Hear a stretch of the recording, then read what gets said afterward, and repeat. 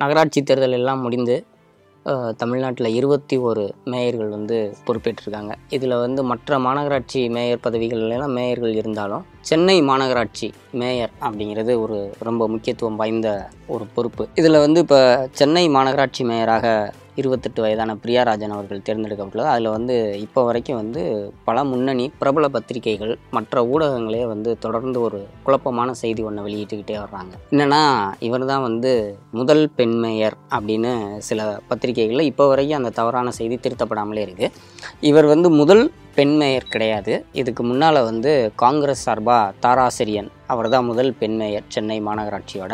ரெண்டாவது வந்து ஆயிரத்தி தொள்ளாயிரத்தி எழுபத்தொன்னு எழுபத்தி ரெண்டு காலகட்டத்தில் திமுக சார்பில் அவங்க காமாட்சி ஜெயராமன் அவங்க வந்து மேயராக இருந்திருக்காங்க. இப்போ மூணாவது தான் வந்து பிரியாராஜன். இவங்க வந்து மூன்றாவது பெண் மேயர். இவங்க எந்த இடத்துல முதல்ல வர்றாங்கன்னா முதல் பட்டியல் பிரிவு அந்த ஜாதியை சேர்ந்த தலித் மேயர் அப்படிங்கிறதுல தான் இவங்க முதல் பெண் மேயர். பிரியாராஜன் அவர்கள் அவர் வந்து அந்த இருபத்தெட்டு வயதில் வந்து அவருக்கு வந்து இந்த பொறுப்பு கொடுக்கப்பட்டிருக்கிறதுன்றது பல பேருக்கு வந்து ஆச்சரியத்தை ஏற்படுத்தும். அரசியல் வந்து அவங்க பிரியாராஜன் அவங்க குடும்பத்துக்கு வந்து ரொம்ப புதுசு இல்லை. அவங்களுடைய உறவினர் அதாவது பேத்தின்னு சொல்லுவாங்க.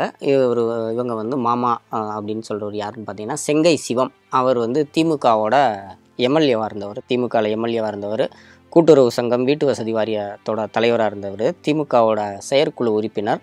அதன் பிறகு வந்து பார்த்திங்கன்னா கலை இலக்கிய பேரவையோட தலைவராகவும் அவர் இருந்தார் செயலாளராக இருந்தார் செங்கை சிவம். அவர் வந்து எண்பத்தி ஒம்பது தேர்தலையும் வெற்றி பெற்றிருந்தார். அதுக்கு பிறகு தொண்ணூற்றி ஆறு சட்டமன்ற தேர்தலில் வெற்றி பெற்று ரெண்டாயிரத்தி ஒன்று வரைக்கும் அவர் எம்எல்ஏவாக இருந்தார். கலைஞருடைய வெறி பிடித்த பக்தர் யாருன்னா செங்கை சிவம் அப்படின்னு தான் சொல்லுவாங்க. அந்த அளவுக்கு அவர் ரொம்ப செல்வாக்காக இருந்தவர். அவங்களோட உறவுக்கார பெண் தான் இவங்க பிரியா. அது வந்து அவருக்கு ஒரு பெரிய ப்ளஸ்ஸு அதுபோக வந்து பிரியா அவர்களுடைய அப்பா வந்து ராஜன். அவர் வந்து பெரம்பூர் பகுதி அந்த அயனாவரம் அங்கே வந்து திமுகவோட பகுதியில் வந்து துணை செயலாளர் வரைக்கும் இருந்தவர். அவர் வந்து ஒரு பாரம்பரிய திமுககார். பிரியா அவர்கள் வந்து பதினெட்டு வயசுல இருந்து அந்த குடும்பத்தில் எல்லாரும் அரசியல் இருக்கனால அந்த உறுப்பினர் கார்டு போட்டு வச்சுருப்பாங்க. அரசியல்னா என்னென்னு அந்த வீட்டில் உறவினர்கள் அவங்க பேசுகிறதுலேருந்து தெரிஞ்சுக்கிட்டாலும் கடந்த ஒரு ரெண்டு இரண்டு மூன்று ஆண்டுகளாக தான் தீவிரமான அரசியலில் ஒரு முழு நேர பணியில் ஈடுபட்டு இருக்காங்க. அந்த வகையில் வந்து பார்த்திங்கன்னா செங்கை சிவம் அவருடைய உறவினர் அவர் ராஜன் அவர்களுடைய மகள் அப்படிங்கிறது போக இவங்களோட அந்த வார்டு மங்களாபுரம் வார்டு வர்றது பார்த்திங்கன்னா சேகர் பாபு அவர்களுடைய அவர் தான் அந்த மாவட்ட செயலாளர். அந்த பகுதிக்கு பொறுப்பு. அவருடைய ஆதரவு எல்லாம் சேர்ந்து அவங்களுக்கு கவுன்சிலராக வந்து வாய்ப்பு கிடைச்சது. கவுன்சிலராக வெற்றி பெற்றதற்கு பிறகு மேயராக ஒரு யாரை தேர்ந்தெடுக்கிறதுன்ற போது இவங்கள பிரியாராஜன் அவங்களே எதிர்பார்க்கல. அந்த ரேஸ்க்கு வந்து பல ரெக்கமெண்டேஷன் திமுகவோட முன்னணி தலைவர்கள்லாம் அவங்க ஆளுக்கு ஒரு பேரை வந்து பரிந்துரை செய்திருந்தாங்க. அதுபோல் வந்து மா. சுப்பிரமணியம் அமைச்சர் அவர் வந்து அவருடைய பகுதியில் வெற்றி பெற்ற கவுன்சிலர்கள் சில பேரை பெற பரிந்துரைத்திருந்தார். சேகர் பாபு அவர் இவர் இவரோட மாவட்டத்தில் வெற்றி பெற்ற கவுன்சிலர்களில் இவங்க பிரியாராஜனை வந்து பரிந்துரை செய்திருந்தார். இதில் வந்து இந்த ரேஸில் வந்து முன்னணியில் இருந்தது வந்து மூணு பேர் தான் யாருன்னு பார்த்தீங்கன்னா நூறாவது வார்டில் அதில் வெற்றி பெற்ற வசந்தி பரமசிவம் அப்புறம் மூவா நந்தினி அப்புறம் எழுபத்தி நாலாவது வார்டு மங்களாபுரம் வார்டில் வெற்றி பெற்றவங்க தான் பிரியாராஜன். இந்த இதில் இவங்க தான் அந்த ரேஸில் முன்னணியில் இருந்தாங்க. அதில் பிரியாராஜன் அவர்களுக்கு கிடைக்கும் அப்படிங்கிறத வந்து யாருமே எதிர்பார்க்காத ஒன்று மு க ஸ்டாலின் அவர்களை நெருங்கி அறிந்த சிலர் மட்டும் செங்கை சிவம் அவருடைய உறவினர் செங்கை சிவத்தோட பேத்தி அவங்க வர்றதுக்கு வாய்ப்பு இருக்குன்னு சொல்லிட்டு இருந்தாங்க.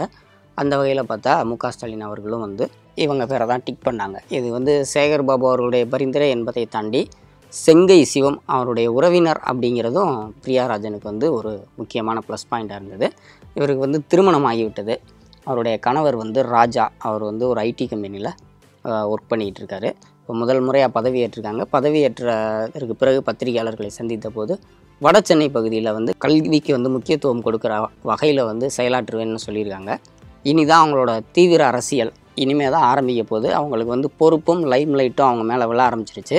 இனி அவங்களுடைய ஒவ்வொரு நடவடிக்கையும் கண்காணிக்கப்படும். ஒவ்வொரு செயல்பாடும் கண்காணிக்கப்படும். இதெல்லாம் வந்து கடந்து எப்படி தன்னுடைய பொறுப்பை வெற்றிகரமாக செயலாற்றுகிறார் நிறைவேற்றுகிறார் என்பதை வந்து நம்ம பொறுத்திருந்து பார்க்கலாம்.